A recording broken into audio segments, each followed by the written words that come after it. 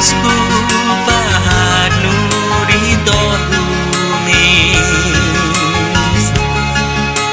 No koia zaudoi ni pizanku